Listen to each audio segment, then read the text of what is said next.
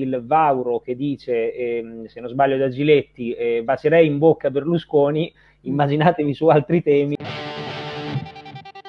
Giubilei, abbiamo bisogno di eh, chiarire un aspetto, cioè io trovo comunque paradossale che eh, a fare da trainante atlantista sia un partito come Fratelli d'Italia, poi per carità eh, possiamo andare indietro nella storia della politica italiana, il movimento sociale italiano è atlantista da sempre, ok, su questo ci siamo, però nel sottobosco della destra italiana c'è un, una parte di diffidenza rispetto all'atlantismo.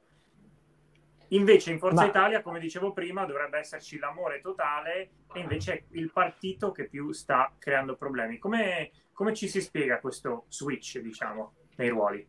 È una bella domanda. Eh, diciamo che io andrei su questo tema oltre lo schema, la dicotomia tradizionale destra-sinistra, perché la guerra ha fatto eh, emergere una comunanza anche di posizioni talvolta tra aree che sono totalmente eh, diverse. Semplifico, il Vauro che dice, eh, se non sbaglio da Giletti, eh, bacerei in bocca Berlusconi, immaginatevi su altri temi, sarebbe stato impossibile. Però il fronte, per esempio, contrario all'invio delle armi eh, in Ucraina, va dal Movimento 5 Stelle a Fratoianni a molte, ala, eh, molte ale del, del, mondo della destra, in parte anche eh, vicino al mondo leghista, ma anche vicino al mondo ehm, della destra più tradizionale, perché è una tematica abbastanza eh, trasversale la dichiarazione di Berlusconi, quello che ha detto eh, Berlusconi, lasciamo per un attimo da parte il calcolo politico, però è una dichiarazione che c'è una parte del paese consistente che più o meno in termini simili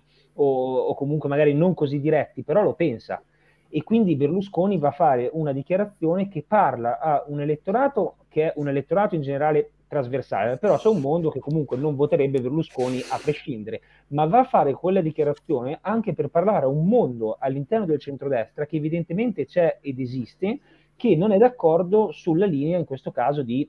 Fratelli d'Italia e Giorgia Meloni, che se ci pensate è in parte anche quello che aveva provato a fare in campagna elettorale, pur eh, con termini diversi, non così diretti, anche la Lega, anche Salvini. Ed è, se vogliamo, eh, su un tema così importante eh, che genera anche mh, malcontento in, in, in, alcuni ambienti economici per il tema delle sanzioni, genera malcontento per il fatto che vi sia una guerra in corso, c'è un mondo cattolico che è molto vicino alle posizioni in questo caso di Papa Francesco, pensate alla linea del quotidiano della CEI di avvenire, e quindi Berlusconi fa eh, questo intervento parlando a tutta quest'area, che è un'area che evidentemente eh, esiste ed è un'area che secondo alcuni sondaggi addirittura la maggioranza degli italiani. Il discorso per Giorgia Meloni è eh, diverso per una serie eh, di, di, motivazioni ehm, che vanno dal fatto che eh, anzitutto lei è, ancora prima di essere Presidente del Consiglio è, è Presidente dell'ECR. L'ECR è il gruppo dei conservatori europei in cui il principale partito dell'ECR è il PIS, ovvero il partito di governo polacco